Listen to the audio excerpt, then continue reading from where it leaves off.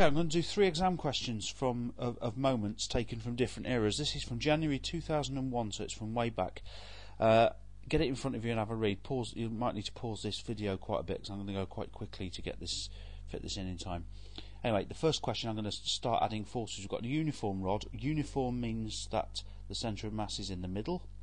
So the centre of mass is there, 70 newtons. That's at position 1.5. I'll add that later. We've got a normal reaction here and a reaction at Q here. Uh, in fact, we're told that the reaction at P is 20 newtons, so I'll add that in, 20 newtons there. Uh, a couple of things I'm going to add to the diagram now. I'm going to measure everything from here, 0. So this distance is 0.5. I'm imagining that this is basically uh, distances marked on a long ruler.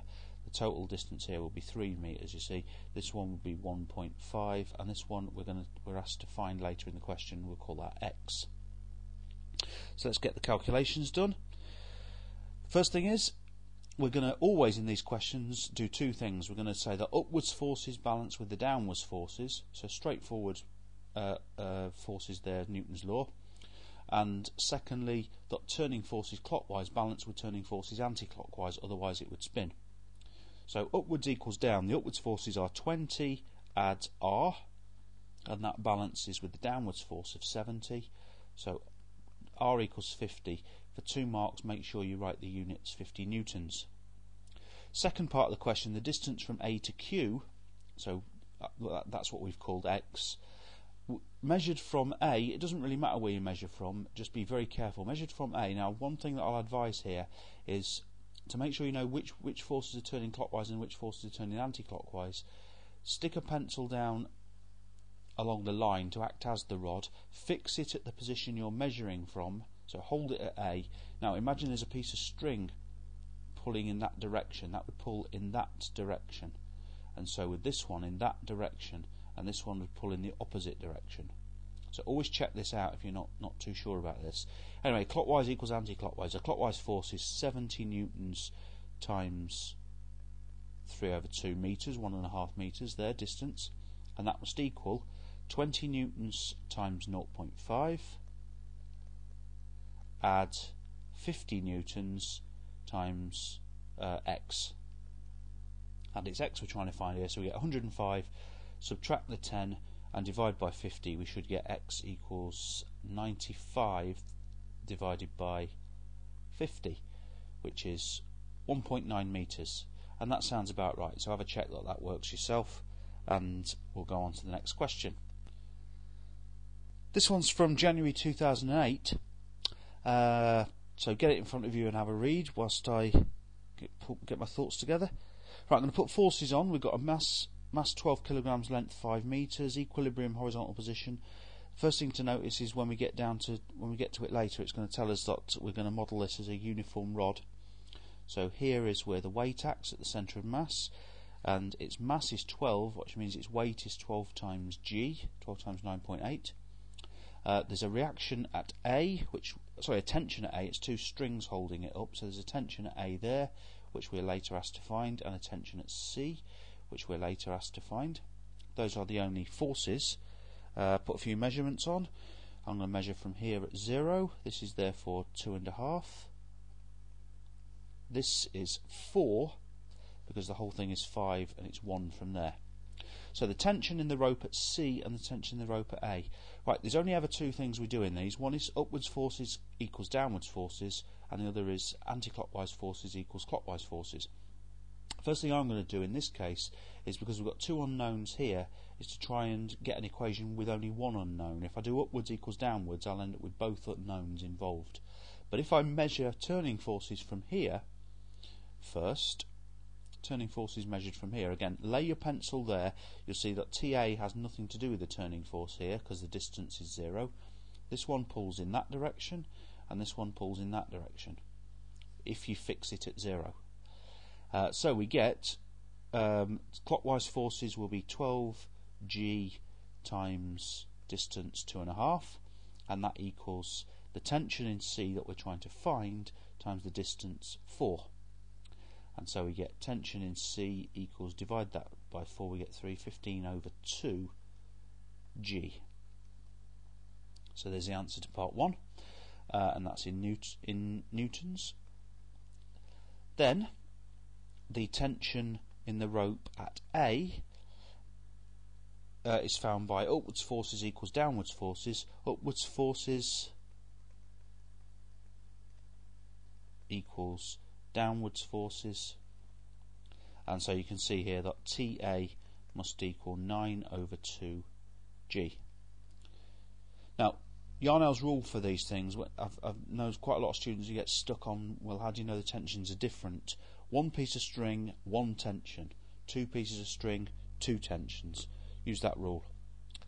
Next thing is a, a, small load of mass 16 kilograms is attached to the beam at a point which is y meters from A. The load is modelled as a particle given that the beam remains in equilibrium. Okay, I'll need to need to get rid of some of this some of this stuff. I'll get rid of the stuff and be back uh, any second now. Right, I'm back now. I didn't realise that I'd have to um, add, add extra things to the diagram. So I've added I've added the, the load y, which is 16 kilograms, so 16g is the force, at a point y, which we don't know where we don't know where it is. Uh, so I'll just label it y there. I don't know exactly where it is, so it doesn't. But, it, but as long as I do the calculations right, it shouldn't matter. We're now going to find a, an, ex, an expression for the tension in the rope at C again. So again, take turning forces from zero. We end up with this one's that way, this one's that way, and this one is that way. If you stick, if you fix it at zero. So we get 4TC must equal 12G times 2.5 add 16G times Y and so TC must equal our, our old mate uh, what was it uh, uh, 15 over 2 plus 4 YG that says 15 over 2 plus 4yg. That's in terms of y then. Uh, the rope at C will break if the tension exceeds 98 newtons. Uh, you can't see this on the screen, but if you've got the question in front of you, that'll be alright. So if the tension, if TC is greater than 98, the rope at C would break. We're told that A can't break. Find the range of possible values where the load can be attached without the rope at C breaking. Okay, so this is the tension in C, and that has to be less than or equal to 98, which is 10G. So the equation we've now got is 15 over 2 plus 4y, I'll cancel the g's on both sides, is less than or equal to 10. Uh, whipping that over this side, we get 4y is less than or equal to 5 over 2, and so y is less than or equal to 5 eighths. Uh, in other words, the range of values is that y can be anywhere from 0 to 5 eighths, and 5 eighths is 0.625, so 62.5 centimetres. I think that's the units we're, we're using to measure. It's questions from January 2002, and I've answered the first bit where I've drawn the diagram. I'm going to answer the last question, last part of the question now. It says, explain how you use the fact that the girder is uniform. The answer is um, I, the centre of mass will be at the centre of the girder, in which case. So there's the complete diagram. We're going to find the tension at C and the weight of the girder. So the tension at C, this is uh, here, it's what this is three times that tension. I'm going to measure everything from the centre because that's too much of an unknown. Measure from the centre, clockwise equals anti-clockwise. This force is round that way.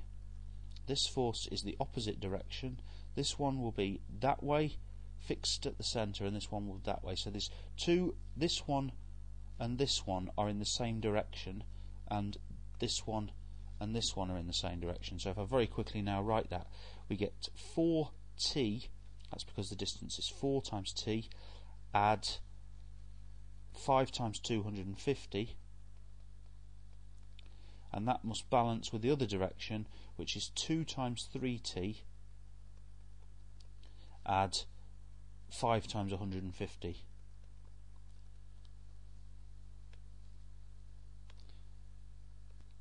Now I've skipped the skipped to the calculations there. You can see that T is 250. Now the next thing is the weight of the girder. Upwards forces equals downwards forces.